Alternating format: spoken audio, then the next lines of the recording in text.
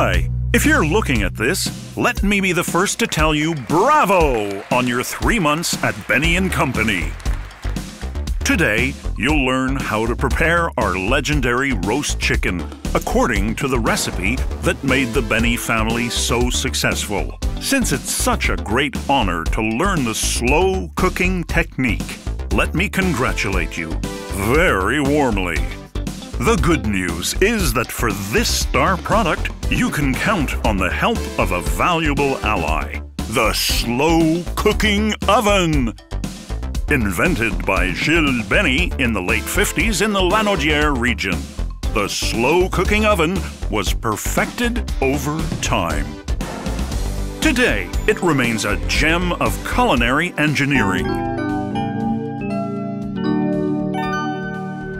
To obtain optimum tenderness, each chicken must be roasted for three hours. This means that putting the chicken into the oven should be the first thing you do when you start your shift in the morning. Well done! Awesome work! While the magic is happening, let's talk about the quality of our chicken. Did you know that it's grain-fed? Air cooled, and that it doesn't contain any added hormones? Everything it takes to be absolutely certain that each chicken has optimal taste and tenderness. That's what top quality chicken is about. Then, after the chicken has spent three hours in the oven, check it for proper cooking and temperature. It's simple. Just turn the thigh bone.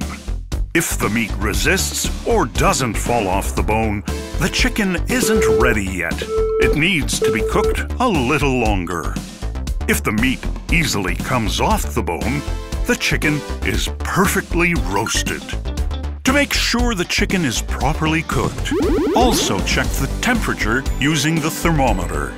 If it's at 88 degrees Celsius, the chicken is ready to be served. As you know, some chickens are sold whole, but our most popular meals are chicken quarters.